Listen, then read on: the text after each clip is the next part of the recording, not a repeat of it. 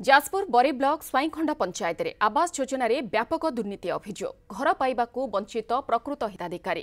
ଘରଟିଏ ପାଇଁ ପ୍ରଶାସନ ନିକଟରେ ଗୁହାରି କରି ଥକିଗଲେଣି ହେଲେ କେହି ବି ଶୁଣୁନାହାନ୍ତି। ସେବେଳେ ଜିଲ୍ଲାପାଳ କହିଛନ୍ତି ଘର ପାଇନଥିବା ହିତାଧିକାରୀଙ୍କୁ ଘର ଯୋଗାଇ ଦିଆଯିବ। ବରୀ ବ୍ଲକ ସ୍ୱାଇଁଖଣ୍ଡ ପଞ୍ଚାୟତରେ ଆବାସ ଯୋଜନାରେ ଘର ବଣ୍ଟନରେ ବ୍ୟାପକ ଅନିୟମିତତା। କୋଠା ଘର ଥିବା ଲୋକ ହାତେଇଛନ୍ତି ଘର। ହେଲେ ପ୍ରକୃତ ହିତାଧିକାରୀ ଘର ପାଇବାରୁ ବଞ୍ଚିତ। ଯାହାର ଜ୍ୱଳନ୍ତ ଉଦାହରଣ ହେଉଛନ୍ତି ଲଳିତ ବେହେରା। ପ୍ରକୃତ ହିତାଧିକାରୀ ହୋଇ ବି ଆବାସ ଯୋଜନାରେ ଘର ପାଇବାରୁ ବଞ୍ଚିତ। ଏବେ ବି ସ୍ୱାମୀ ଓ ଦୁଇ ପିଲାଙ୍କ ସହ ଭଙ୍ଗା କୁଡ଼ିଆରେ ରହୁଛନ୍ତି।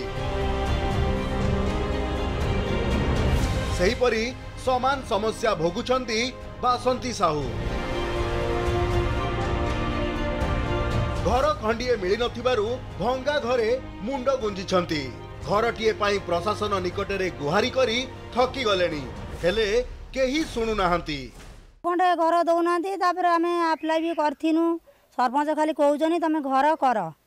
ଆମେ ତ ଗରିବ ଲୋକ ପରିବା ବେପାର ଦୁଇଟା ଆମର କରନ୍ତି। ପରିବା ବେପାରରେ ଆମେ ଖାଇକି ରହିମୁ।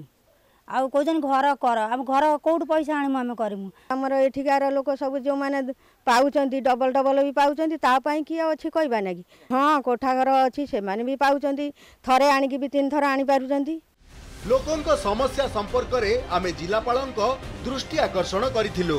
ଖୁବ୍ ଶୀଘ୍ର ଘର ପାଇନଥିବା ହିତାଧିକାରୀଙ୍କୁ ଘର ଯୋଗାଇ ଦିଆଯିବାର ପ୍ରତିଶ୍ରୁତି ଦେଇଛନ୍ତି ଜିଲ୍ଲାପାଳ।